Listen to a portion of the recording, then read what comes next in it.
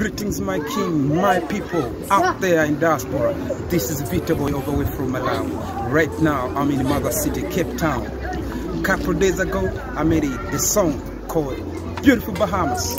I thought it was that if I sing it on my own, it won't carry weight, but I must sing with a man from Bahamas. You I chose Yah Doctrine. Yo, yo, so you know, Vite Boy reached out to me and asked me to be featured on the song Beautiful Bahamas. And of course, you know, I want to link with my people from Malawi. This is an amazing collaboration, you know what I mean? You know, creating the song, I, I wrote a couple verses at first. And then Vite was like, yo, Doctrine, no man, I want you on the hook, bro. This gotta be a hit. You know what I mean? Captain Yah Doctrine made a move to come up with a remix. Here we are. This is a bomber remix. America, Caribbean, Africa, European. Receive it. Boy for life. Soon I'm coming to Bahamas. You gotta receive me so that I can meet my people. Peace. So I want you all to tune into the song, listen to the message.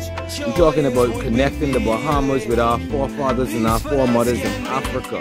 You know what I mean? We all want people around planet Earth. You know what I mean? No matter where you're from, we African descendants. You know what I mean? So we keeping up the tradition, keeping the connection, building up the links. Yeah, you see? Bahamas, Malawi, Lam.